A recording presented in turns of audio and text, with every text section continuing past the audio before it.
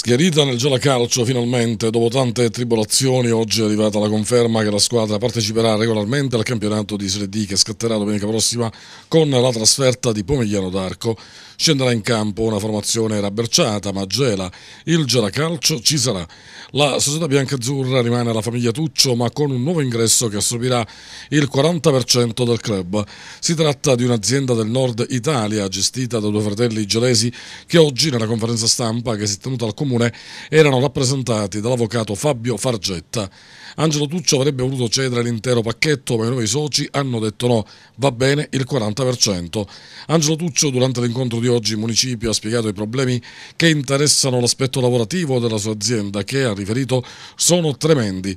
Il mio mondo lavorativo sta crollando, ha rimarcato, ma vogliamo continuare ad offrire passione alla città in ambito calcistico. Abbiamo un anno di vita importante adesso che ci siamo dati con l'ingresso di questo nuovo gruppo che rileverà il 40% della società, quindi arriverà un aiuto, un braccio importante per portare avanti questa società.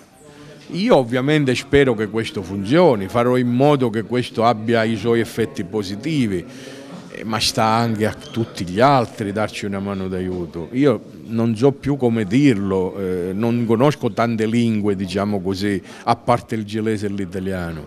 Dateci una mano d'aiuto, cioè aiutate questa squadra a diventare uno dei corpi fondanti di questa città. Non lo è, non ci prendiamo in giro, finora non lo state. Quindi questa squadra e questa società vanno aiutati se si vuole eh, assicurare un certo futuro, altrimenti ci sediamo a tavolino chiudiamo tutto e ce ne andiamo a casa.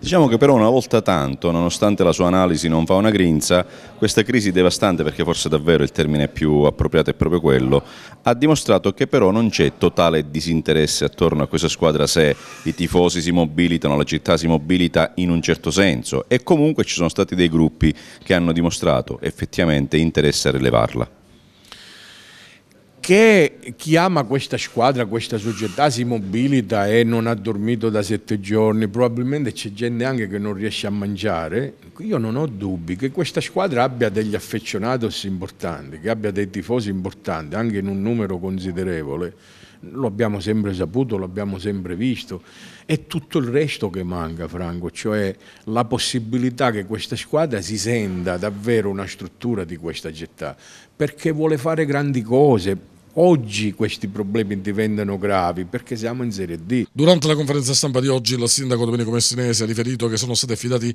i lavori allo Stadio Presti.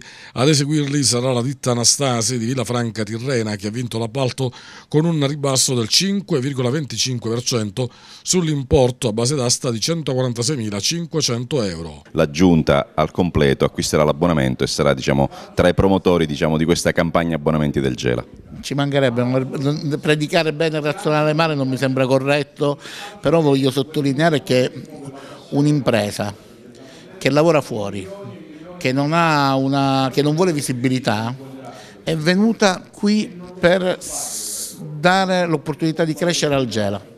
Allora questo deve fare riflettere. Noi in questi giorni ho assistito che noi gelesi siamo stati molto bravi a criticare o ad additare. Qualcuno è venuto da fuori è in silenzio e continua in silenzio, invece ha dato una possibilità di rilanciare. È un'opportunità che dobbiamo cogliere. Se non me lo auguro, il prossimo anno dovesse nuovamente ripresentarsi una situazione del genere, è inutile cercare qualcheduno da additare, ma è forse meglio che ognuno si guardi in faccia e dica cosa ha fatto lui.